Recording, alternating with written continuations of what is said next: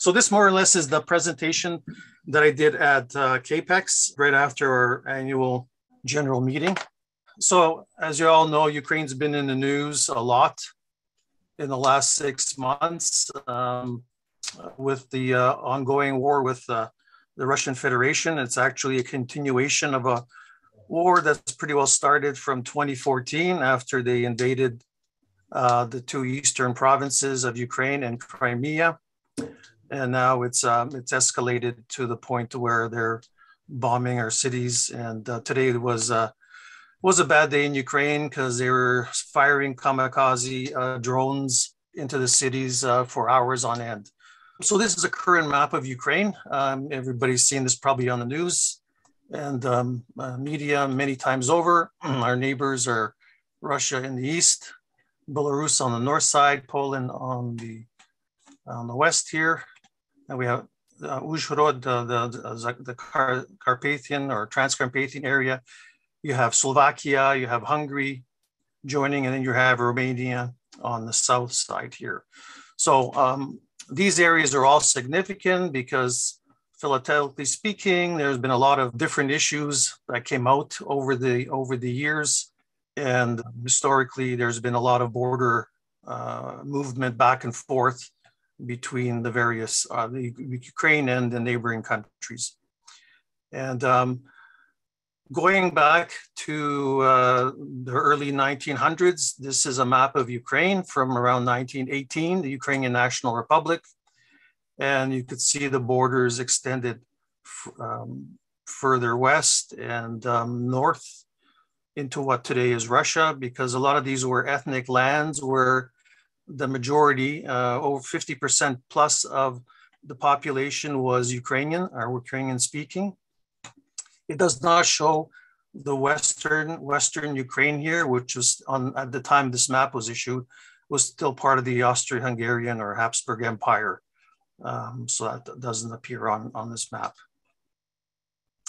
And this is a map that was presented by the delegation to the Paris Peace Conference in 1919 uh, with the proposed borders uh, of Ukraine, based again on the, um, the um, ethnic population of um, the different areas. And as you can see, interesting enough, the Kuban area here, which is part of the Russian Federation, was had a very large Ukrainian population.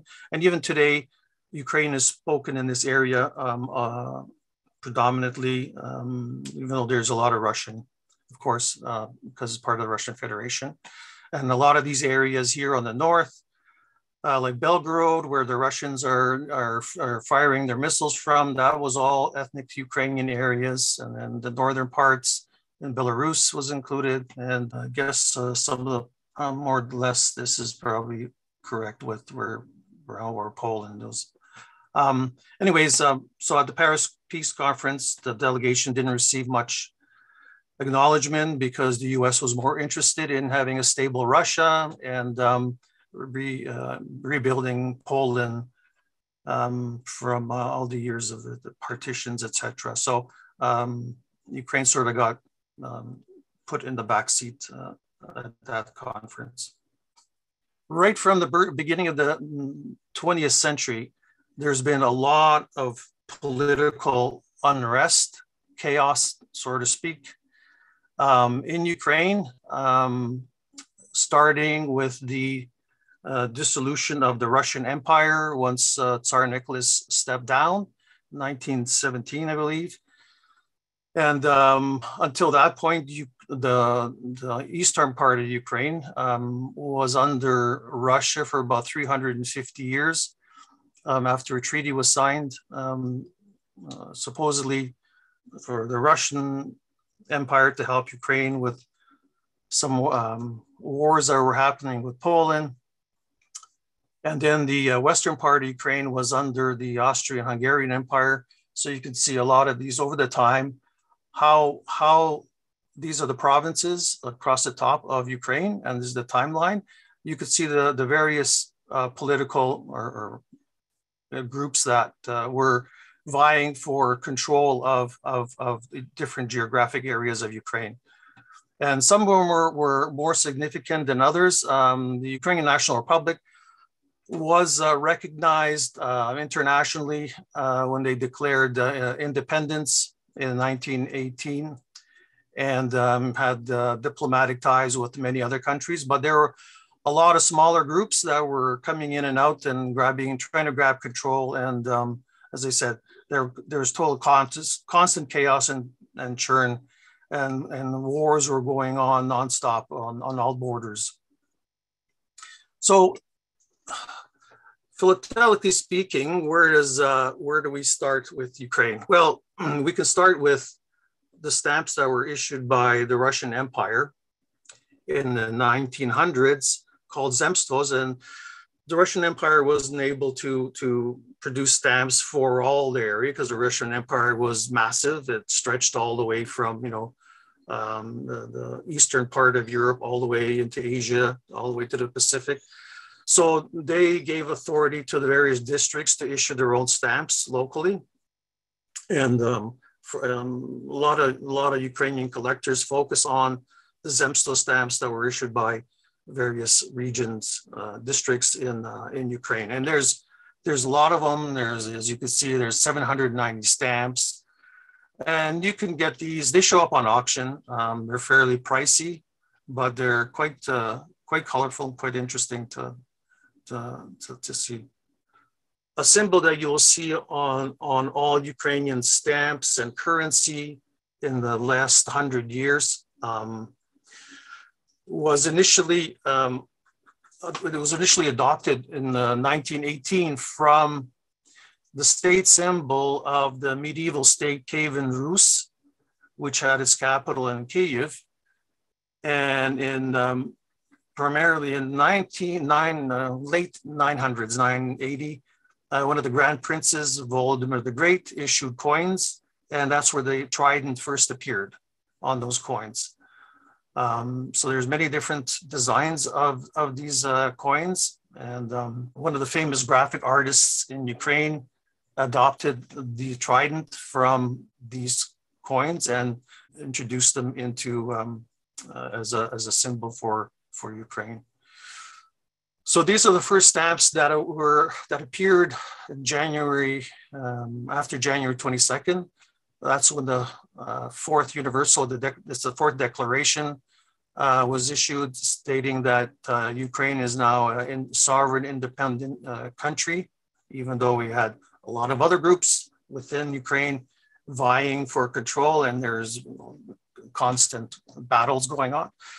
But the first, um, the first stamps were not really postage stamps, they were currency stamps and they were printed on cardboard. They looked like stamps, um, but they were card, they were used instead of coins because metal was very uh, um, precious at the time, uh, required for military purposes and things like that.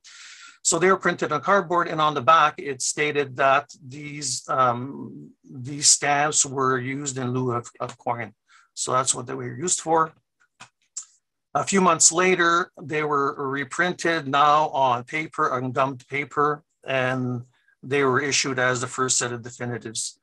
And um, so these are the, the, uh, the, the, graphic artists. The first two were by Anton Sereda.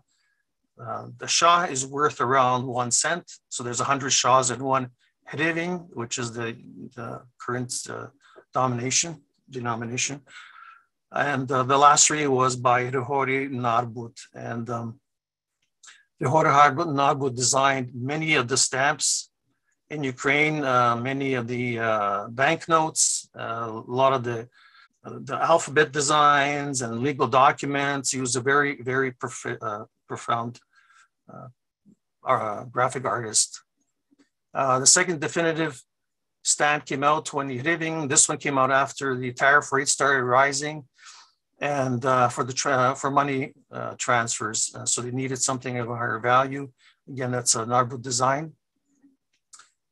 And um, eventually they were thinking of reusing these definitives to replace the provisional stamps, which I'll show you in a, in a minute here. And these are the, the, the classic Trident overprint stamps. So the, the problem, as you saw with the timeline, uh, Ukraine was independent for three years until until uh, Russia um, basically won won the wars, and um, you know there were Polish Ukrainian wars, Polish Russian wars, Ukrainian Russian I mean Ukrainian Russian wars. Everybody was fighting on the borders. Um, so. Uh, for a country, a new country to start printing their own stamps was problematic because you didn't have the you didn't have the proper equipment, and uh, didn't have the timeline. And look, Canada Post takes two years to come up with a with a stamp. So these guys had months to come up with something. And so what they did, they had large stocks of um, um, Tsarist uh, um, stamps available that were still, um, you know, they still had stock. And they basically authorized all the local uh, cities or districts uh, to start overprinting them with tridents. And there was no set design of tridents. So a lot of these uh, cities or districts came up with their own designs and they, they use different methods of or the media to create these tridents. Um, they had rubber stamps, uh, lithograph, and as we see later on, they even went to other things. So this is key. You've had three types. Collecting tridents is an interesting, interesting area. There's over 2,500 of them. And um, a lot of, probably uh, large portion of our society do collect trident overprints. Uh, but it's uh, it's an interesting area because you sort of have to become uh, eventually an expert in what is a real trident and what's a forgery. So I can tell you that on eBay, probably 90% of everything is forged. Um, and it's not, unless you know what you're looking at or you have a base collection, uh, a reference collection, that you can compare your trident overprints to, you're going to end up buying fake material and spending a lot of money in some cases. Um, Odessa, the 10, 10 different types. So a lot at our, at our we have an, an annual meet uh, in, in, in Pennsylvania. We all get together and a lot of times uh, somebody brings in a collection of tridents that they just got somewhere and, and they're saying, are, are these legit or not? And then we get into a lot of discussion on whether whether a particular trident is overprint is legitimate or not. So you know you start looking at different characteristics of it, you know the the, the type of ink, you know. Um, uh, did it does it fluoresce on the other side? Is it oily ink or not? Or, or, or you know, but the shape is. So you know, it's, it's quite uh, healthy discussions over that. Um, Odessa had ten types. These are metal hand stamps. So you know that when you look at these tridents, the shape of them were fairly consistent, um, easy to identify, but um, there are tiny variations to them, which they're still relatively the same shape. Um, and I was mentioning earlier that the Kyiv 2 type here, these rubber hand stamps, when they when they made um, the hand stamp, the various rubber hand stamps, they, they all look slightly different. And basically they took five of them and they would wire them together and then use that to overprint the, the on the sheet five by five. I think the, the, the sheet was, they would basically overprint, um, you know, apply five tridents at a time. And then you, you would look across the strip of five, you could see there's slight differences in, in the tridents, but the metal ones are fairly consistent. Um, and um, here's a Odessa overprints on the ruble stamps. Kharkiv, um, which has been in the news, uh, with, uh, which is very close to the Russian border. Mm-hmm. It's like, uh, I don't know, it's under like 50, 40 kilometers or something. Um, they, uh, again, these are all hand um, uh, metal hand stamps. So again, the, the, the, the trident is consistent across um, all the stamps that you would see uh, Katerinoslav, again, rubber hand stamps. Um, these ones here, Podillia, are the toughest because they are the smallest trident overprints and um, they, the ink smudges a lot. So uh, you really have to look at them at high magnification to tell the difference. And surprisingly enough, there are a lot of forgeries of these two. I don't know why anybody bothered, but um, they are forged. Podillia. Now, these ones are the most, really the most interesting and the hardest to classify or type um, of all the trident overprints. There's 57 of them. Now, these, these ones here, lot of them, well, the vast majority were made from wood. There's only a few that were metal. Um, vast majority of wood. Basically, they would take a block of wood and carve it. So you can imagine that you would you would carve a trident and you start applying it on each stamp, and somebody's there doing that all day. Well, after some time of uh, wear and tear, the shape of the trident starts changing, and it starts deviating from what the initial the shape of that trident uh, was, and so now you have a lot of discussion within our, our, our society whether you see two different tridents are they actually same trident? And and one is just a worn wooden hand stamp um, or not, or is it a forgery? So, um, in the last last uh, few years, one of our one of our society's members has has written some fantastic articles on these uh, Trident overprints, and he's done um, a lot of uh, analysis um, um, on them. Um, he managed to uh, obtain a, a significantly large collection so a lot of a lot of material to to to peruse, look through, um, and uh, has, like I said, has written some amazing articles. Every year we have a Kotick Award, uh, which is basically awarded to the best article in our journal, and he's scored it pretty well, won consistently every year.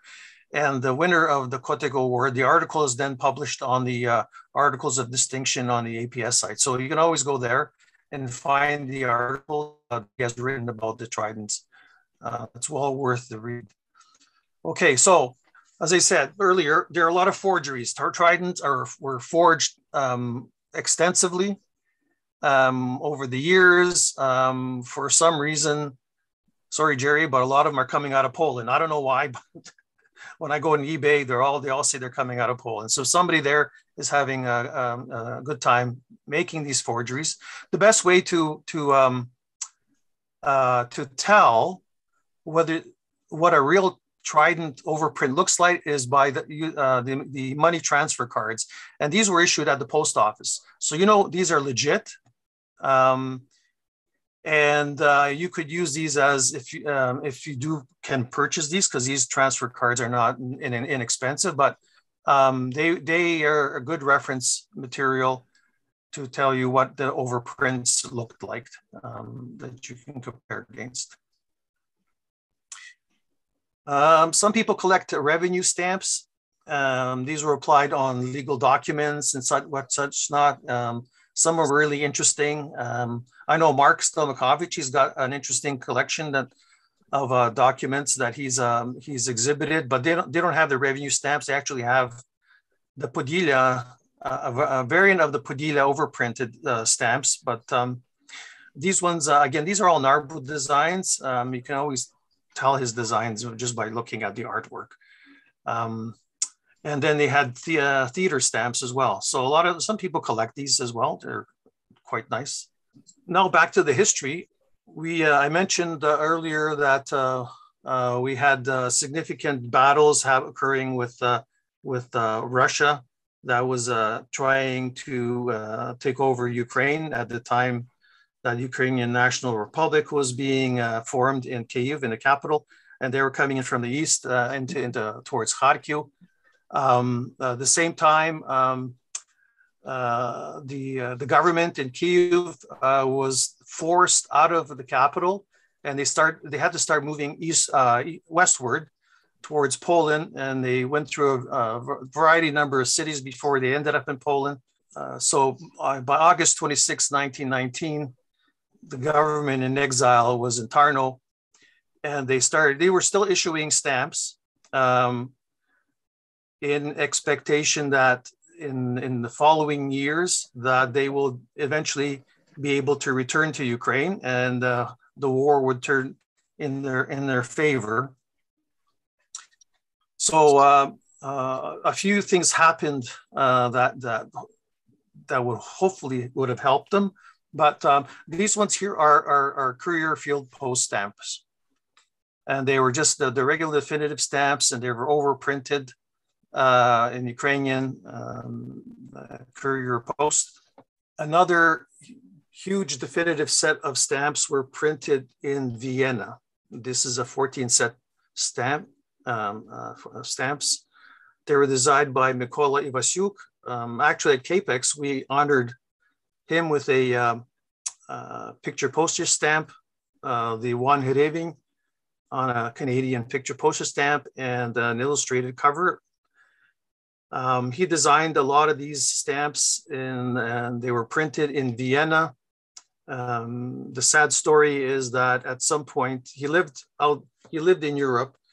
He was invited back into Ukraine, um, into Kiev to, to uh, lecture at one of the, or work at one of the art, art schools there. And then a short time after, he was arrested uh, overnight, and they uh, in two, within two days they basically charged him with treason, and he was executed. So um, that was the life of many of the in, uh, Ukrainians that were trying to make a difference at that time. Um, but the, the story around these stamps, they were never issued. And um, what happened around this time was that um, um uh, there were a lot of, uh, as I said, border skirmishes. So there was an ongoing war with Poland um, over over the the western or Ukrainian western border. Um, but at, at, some point, that the um, the war ended and a treaty uh, was signed with Poland, the Treaty of Warsaw, where Poland uh, now became an ally of, of Ukraine, and uh, with Pilsudski, uh, who was the, the, the, commander for Poland, and Petlura, who was the head of the uh, Ukrainian Directorate, uh, the government in Ukraine. And they basically, um, uh, Poland said to Ukraine that they would help them um, fight the Russians and out of and have them pushed out of Kiev um, to allow the government to return. So they were successful in, in doing that. But shortly after, the, the Russians came, uh, came back again into Kiev. And Poland then, um, after some, some time, because they were also fighting Russians, uh, having a Russian war, they signed a, a treaty with Russia, uh, basically to, to end the skirmishes that they had. And that basically ended Ukraine's hope for any for any uh, independence. Um, so that was uh, around the late end of the late uh, 1920s. So these these uh, Vienna issues here were never issued. Um, you find them; they're very inexpensive set. They're really beautiful, and they come perfed and imperfed. Imperfed are fairly rare. And the one thing you need to watch out for here are this one here on the very end. So a lot of times when you look, um, and you see them in eBay. They're they're they're not expensive at all. But people that sell them will say, "Oh, that's that's a proof," and really that is not a proof at all. That's printer's waste. And there's a lot of printer's waste where they were using the same sheet and reprinting on the same sheet, this way or that way. Um, and they were not; these are not proof stamps at all.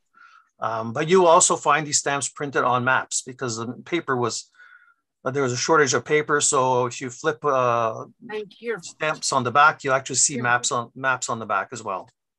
So there are other stamps that were that were printed in uh, Vienna. Um, these are the um, Ukrainian field post again. They took the Vienna issued and they just overprinted them Ukrainian field posts, but they were again never issued because uh, after 1920, um, the, um, the the whole war basically with Russia ended, and that was the, end of uh, Ukraine's uh, aspirations. All right, so going back to the west side of Ukraine now. So that, that part was under Austria-Hungary for um, uh, 300 plus years as well. And after uh, uh, World War One, um, again, um, all the countries on the west side of Ukraine Poland, uh, Czechoslovakia, Hungary. There were a lot of border skirmishes. Everybody was trying to improve um, their border lines. um, so um, the western part of Ukraine, interesting. Um, the pop, the, uh, the the overall population in western Ukraine, the majority were Ukrainians.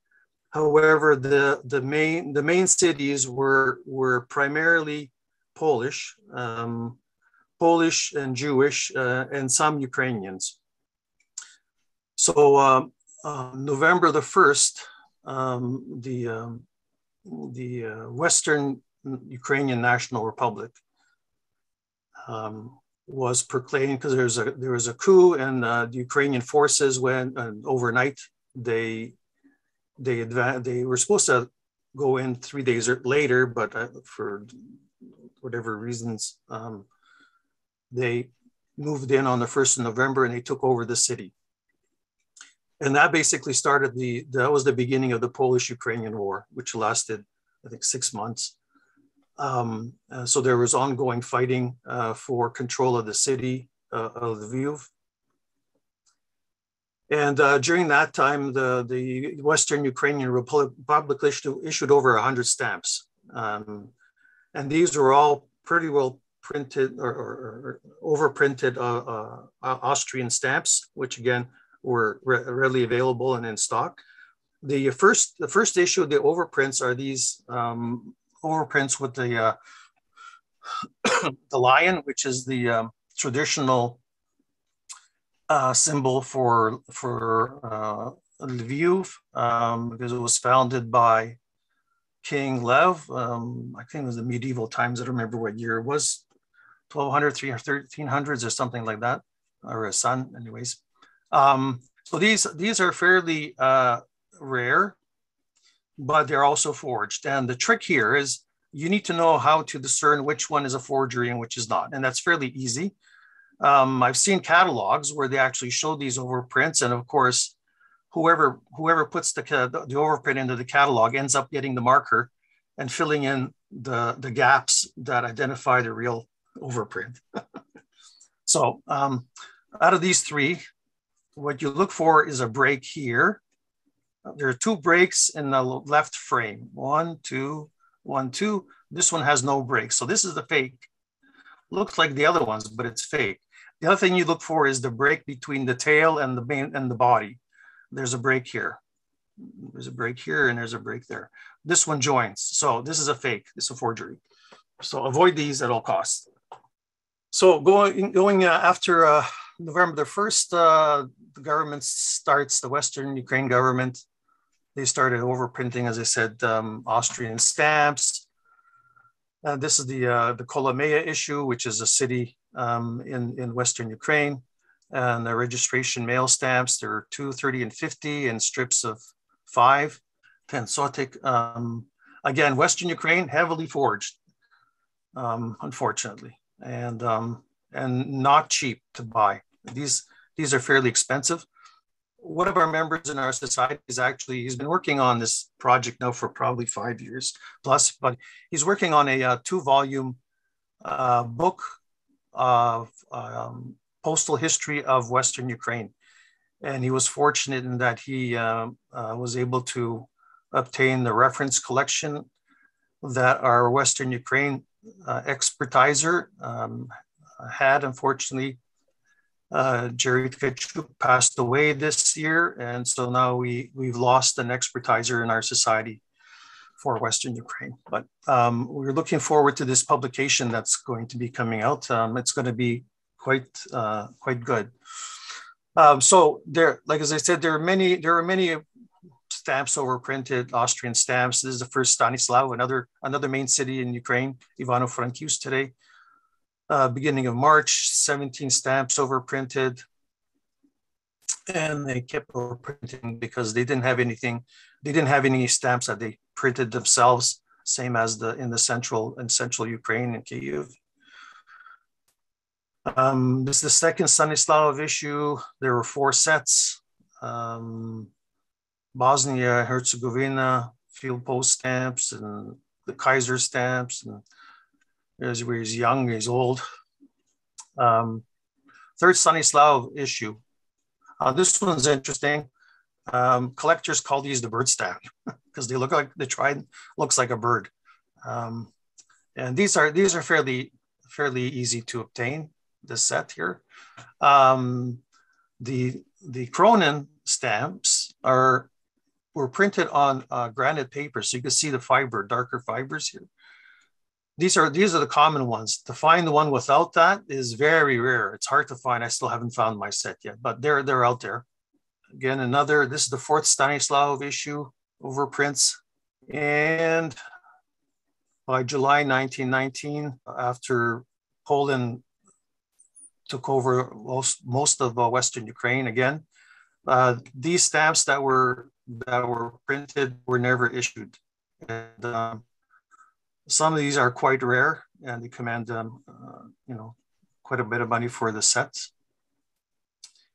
But they, uh, um, they depict, um, um, in this example here, are the Archangel Michael, who is the patron saint of the capital Kiev. And here you see the lion for Western Ukraine for Lviv as I mentioned before, the, the there are skirmishes on, on, on the south side uh, with Romania as well.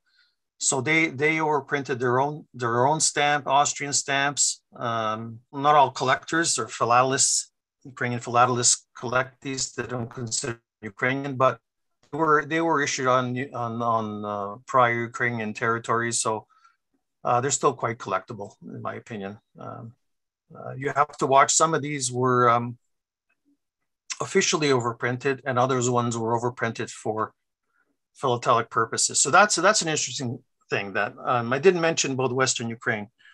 With Western Ukraine, a lot of those stamps um, had involvement from dealers. Dealers would fly into Western Ukraine to get their hands on these uh, these uh, Western Ukraine overprinted stamps uh, for speculative purposes. And there were there were stories of uh, military personnel going to the printer and saying, "Here's a stack of sheets. I want you to overprint all of these for me," and then he would take off with them. Right.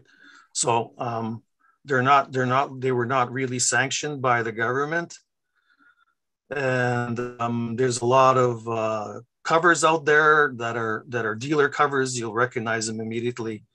Um, uh, once you get familiar with um, with a lot of the Western Ukraine material.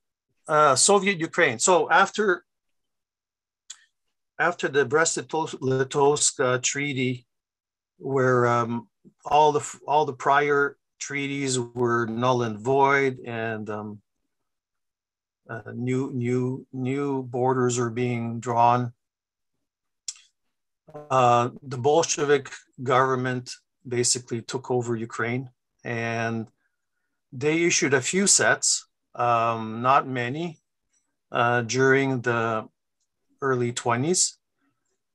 Um, this one's kind of kind of interesting in the fact that it's from 1923 and it's a semi-postal for the famine in Ukraine.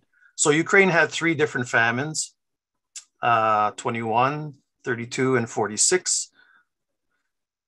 Um, if law, law, there's a lot of research going into these famines, especially the famine from 32 to 33, where any well, seven, most people say 7 million died. Some historians are saying maybe just over four. Stalin, when he was asked, held up 10 fingers saying there were 10 that died.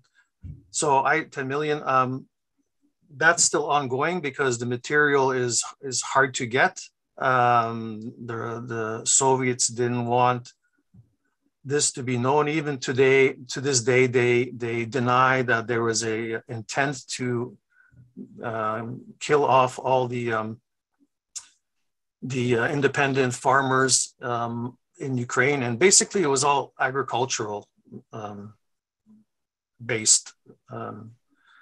Uh, all uh, the first two famines for sure were while people were starving in Ukraine, tons of wheat was being sold to other countries uh, by the Soviets, and um, uh, no one in Ukraine was allowed to have any food at all. Um, I'm sure that happened in, in the last few months where the Russians were taking boats, uh, ships filled with Ukrainian wheat destined for other countries, uh, Africa and um, and what uh, similar countries, um, and taking that to Russia. And um, so it's a, uh, it's it, the story. The story hasn't changed in the last hundred years with what's happening over there.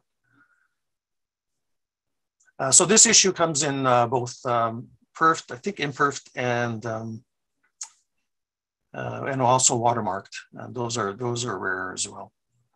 World War II, Germany, Nazi Germany occupied all of Eastern Europe, all the way to uh, Stalingrad, pretty well.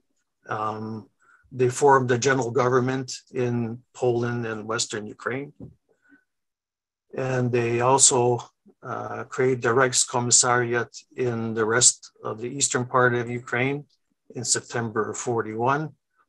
And uh, they brought their um, standard Hitler heads, we call them definitives, and overprinted them Ukraine. There's other other ones that were overprinted OST, Ost, East, that was used um, in um, the Baltics. Um, the general government had their own stamps. They gave permission for a short, short time for local issues. So a lot, there's a number of uh, different regions or districts in Ukraine that had their own stamps. And these are talking about Uber dollars. We're talking like in the thousands to get these. And these ones you only buy if they're expertized. Um, a lot of times, honest dealers will say these are reproductions. This because a collector wants to have a facsimile of the real thing. But um, if you have them on cover, and, and uh, you'll be paying substantial dollars for them on auction. Um, I know the, the, the Hitler head with Ukraine overprint. There's one error that I've seen with the missing missing E. I've never seen it myself, but I've seen images of it the, the, the Hitler head by itself is, is a really nondescript, boring set. Um, once you have it, you have it. But uh, in our society, we have one individual who's actually has a very nice collection of uh, covers uh, with uh, these stamps. Uh, and he's been collecting examples from every every district or every postmark in Ukraine. And he has quite a quite a collection and he's exhibited uh, this collection as well. So um, that makes this more more interesting to to collect um, from that perspective. Carpathia, Ukraine. Um, again, so we're now in the, again in the southwest corner there, and um, so with Czechoslovakia, they held that area for till again the war, um, and then the Ukrainians there rose and uh, they formed a, a, government which only lasted a day, but there was an attempt to do that. So they they took the uh, the uh, Czechoslovak stamp with the Car- Car- Carpathian Ukraine. That's the traditional Ukrainian wooden churches that you find in the Carpathian regions. They issued the stamp. Yeah, I think this also appears on another Czechoslovak stamp without the Carpathian Ukraine on it. So that was the only stamp that, that was issued then. Now, there were other regional, um, and here it is on the, on the uh, first day cover, opening of the parliament on um, the 15th of March 39. There are many other um, overprinted stamps for the Carpathian Ukraine region. um, all, until recent, uh, none of them appeared in Scott. And one of our members in our society, um, through a lot of work with uh, Scott's, was able to get them to publish um, a set of these uh, a set of these uh, overprinted um, Carpathios Ukrainian stamps that are now basically included in the in the catalog. So that's a phenomenal change um, for for Ukrainian collectors to have these issues now recognized. But there are many more that uh, that are out there that are not that are not uh, in the catalogs. Um, one of our members passed away years ago. He had he had a phenomenal exhibit, uh, a gold win, a gold medal winning exhibit on on all these issues. Um, I think it was like ten frames. And in fact, I think his um, I think members of his family took his exhibit and published it in a book available on Amazon and you could see the you could see the exhibit uh, in its entirety. So these, um, again, there was a lot of back and forth with the different political groups uh, countries here, Slovakia, the socialist uh, Hungarian over, over no, socialist Ukrainian National Committee over printing Hungarian stamps. So every every every political power that comes in wants to leave their mark. Say, yeah, I've been here, and here are my stamps, and um, only to be have them to be replaced by the next uh, group that comes in. These are the Soviet stamps. Um, I don't know. They use the sewing machines here or something to perforate them, but they're a fairly fairly uh, primitive, in my opinion. And in uh, November 45, the end of the war, Czechoslovakia gave up Carpatho Ukraine to the Soviet Union. So that was that is why it is now part of part of Ukraine. All right. After the war, well, during the war, there were a lot of Ukrainians that were uh, uh, the younger teenagers were forcibly taken by by Germany um, from Ukraine to work in German factories, um, the Ostarbeiters. And um, after the war, a lot of them uh, ended up in displaced persons camps. Uh, Regensburg was the largest in Germany. Um, it was uh, not a good idea to go back to Ukraine. If you if you lived in in Western Ukraine, that was under under Poland at that time, it was Polish. Then the Russians wouldn't they wouldn't uh, take you back. They would have to leave you. But if you were born in the eastern part of Ukraine, then there was an agreement initially by the Americans that the Russians were allowed to, to repatriate you. Um, and that was not a good thing because they, many of those people that were taken back were ended up either getting killed or in uh, Siberia, sent off to Siberia. But uh, eventually, eventually, the Americans stopped that uh, practice. So the uh, in turn in in, uh, the, in the DP camps, there were many of them. Um, they issued their own postage stamps for internal mail, mail within the camps. If if mail was sent out of the camp, then they would have to add an additional uh, German um, definitive or something for postage out into into Germany or or to um, you know internet for international mail. So these are all in, um, within the camp. Bayreuth is another DP camp from 45, had 3,200 Ukrainians. They did their own, their own designs. Um, all the philatelists, there were a lot of philatelists in those days, and more, more DP camps. Okay, so uh, fast forward from the Second War to the fall of the Soviet Union. So between between that time, between the, the, the, the Second War, actually going back to the 30s till the fall of the Soviet Union, there was really no uh, no concept of national or, or, ethnic identity within the Soviet Union. Everything was, uh, according to the Russians, was basically um, it was a melting pot into this concept of a Soviet Homo Sovieticus, uh, which was the, the common Soviet man who spoke the common language and had the same common culture. Um, the good thing for Ukrainians was that prior, between the 20s, when the Soviets first formed the government in, in the Soviet Ukraine till the, till the 30s, there was some cultural rebirth there, allowance for, for Ukrainian um, cultural um, events um, and things like that. Um, so there's a, there's a, there are a few postage stamps that were overprinted in Ukrainian language. Actually, that is a, an interesting uh, area uh, that we're one of our members is exploring because traditionally Ukrainians bristle at the fact of anything Soviet uh, because of the history. Uh, so they just know nobody wants to touch anything from that area era. But uh, one of our members has uh, is uncovering a lot of interesting material from the 20s um, that is in Ukrainian. So that that may be legitimately okay um, for for as a collectible area, and um, it's been learned, like I said, largely unexplored, and doesn't seem to be any catalogs. But anything anything from the 30s to the to the 91, it was all uh, there was really no concept of a, a, Ukrainian identity or any other other than the Russian. Um, so after the fall of Soviet Union in 91, um, Ukraine was basically left with a postal system.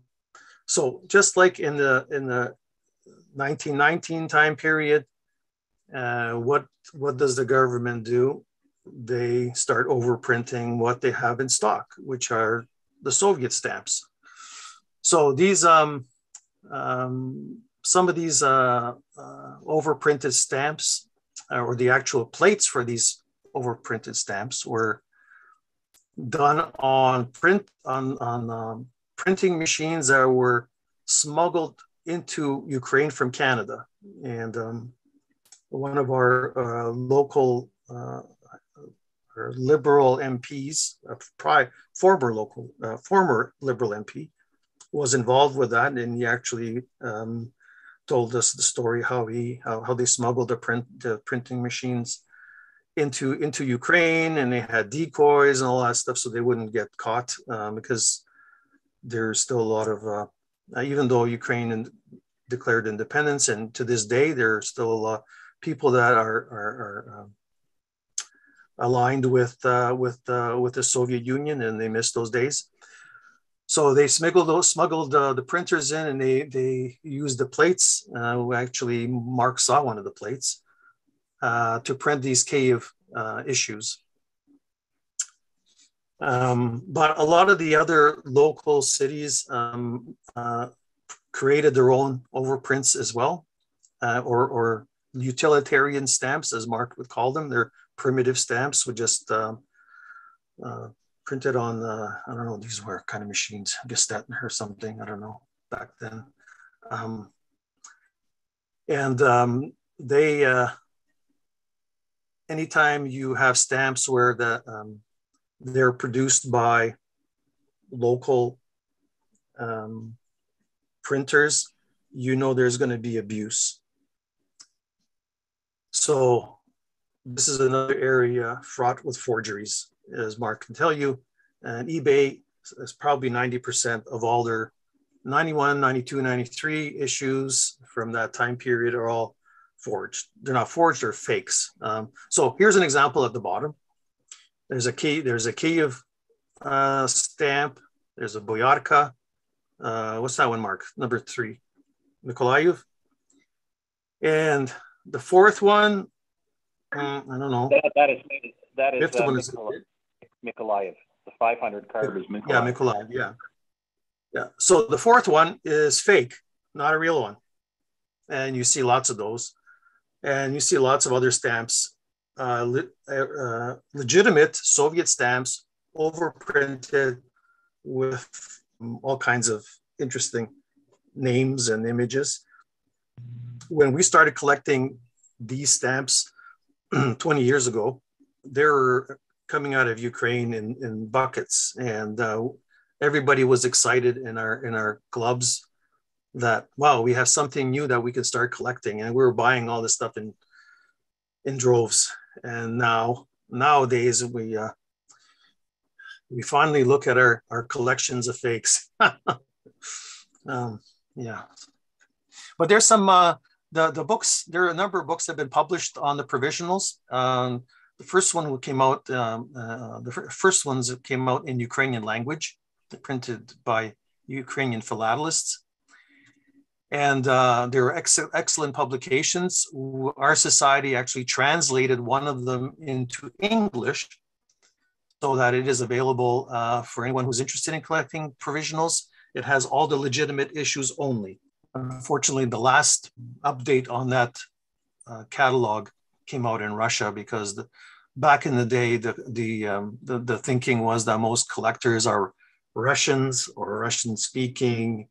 So um, we're limiting ourselves by publishing in Ukrainian. Let's do everything in Russian. Um, so that's to my disadvantage because I can't read Russian.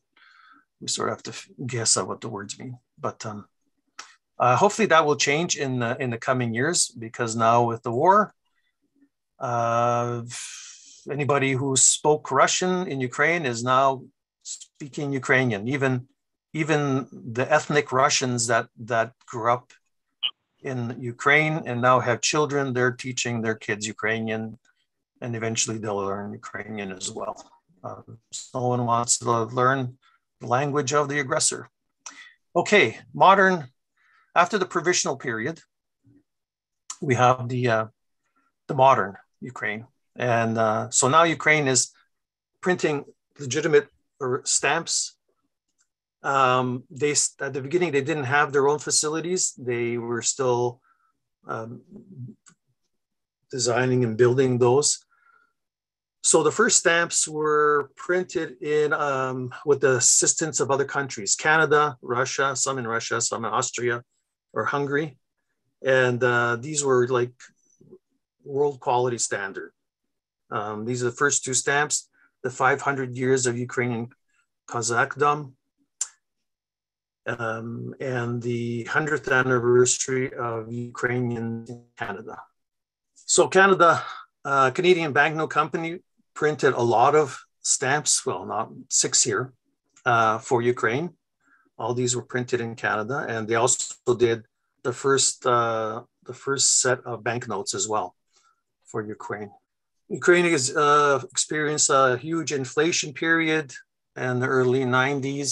Um, so Ukraine decided to switch from uh, not all their stamps, but the, the their regular uh, definitive stamps from having values to to letter stamps, so that way they can easily change uh, what uh, how much these stamps um, are, are, worth. Um, even the currency, um, they originally came out with karbovantsy, and those grew from like one karbovanets to five or half a million karbovanets, and then they changed currencies. They revalued everything into hryvnia. Um, so that was true even for the stamps. They were originally in karbovantsy, and then they were revalued into hryvnia.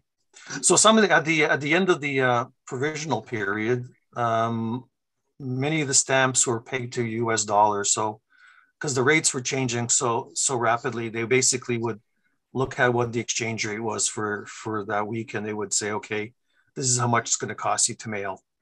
Um, was a total total chaos there at the beginning until until the the things started economically started to settle down.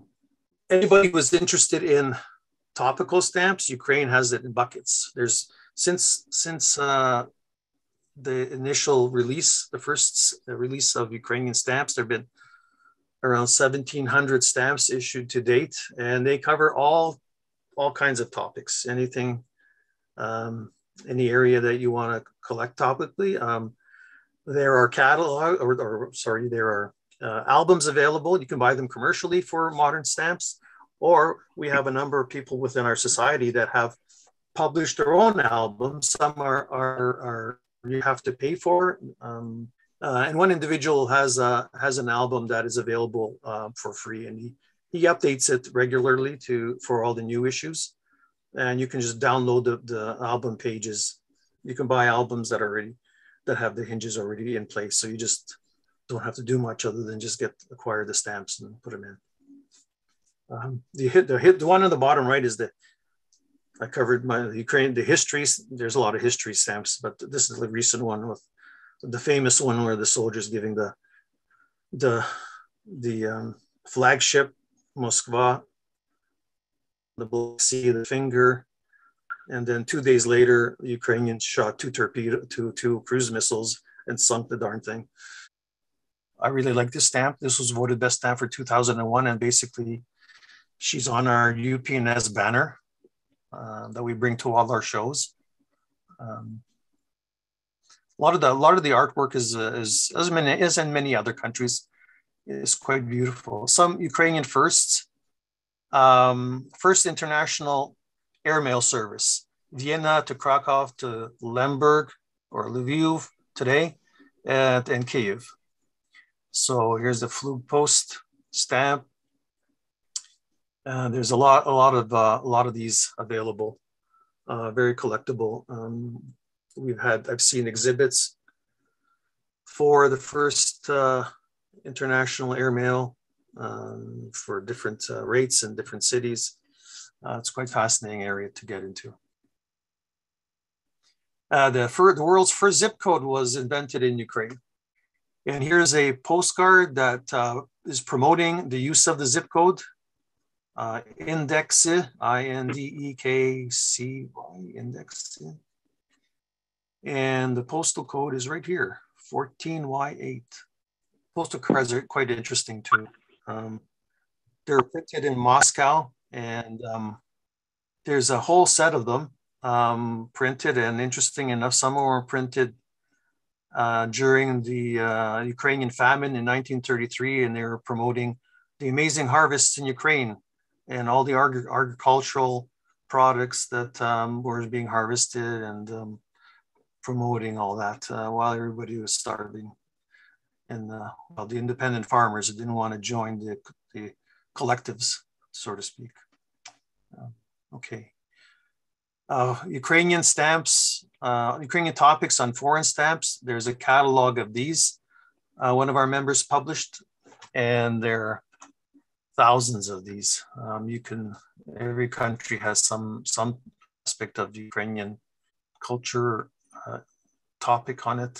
Uh, what's interesting is a lot of the uh, ind- individuals you may come across Soviet stamps uh, that were that made significant contributions to different uh, fields. Um, in fact, were Ukrainian, but uh, they were never promoted as Ukrainian, even hockey players.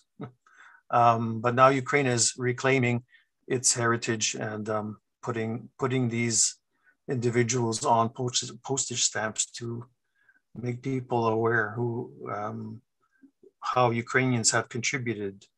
So more more examples here. There's a uh, this is for the Chernobyl tragedy, Belarus.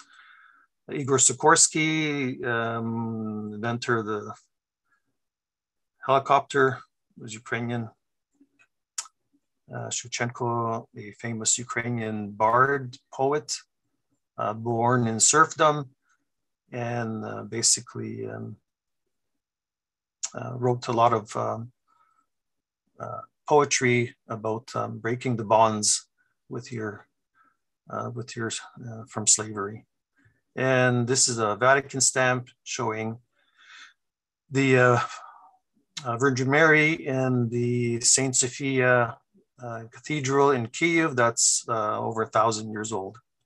And then there's a whole other area collecting that is getting more visibility, and that is Ukrainian Cinderellas and fantasy. So they're not postal stamps, postage stamps uh, some people do did put them on uh, on covers, well, with the with the legitimate stamps, but um, they, they these have been produced um, since uh, the, the, late 40s to the 70s on various topics. Um, and there are lots of them. Nobody really cared about any of this material at the beginning. They were worth practically pennies. Now all of a sudden a lot of people in ukraine are buying these and um, as much as they as much as they can find and and the prices on these are growing. It's um it's phenomenal. There's so much interest now in in, in ukrainian philately so these are more more examples of the cinderellas and that were made during the provisional period. So there's a poltava overprint somebody's somebody's adventure in their basement and decided to create one of these. Sumy, another city in Ukrainian in Ukraine. Uh, again, somebody made this up. Konotop. Um, I'm not sure. This is com- commemorating the the famine in 33.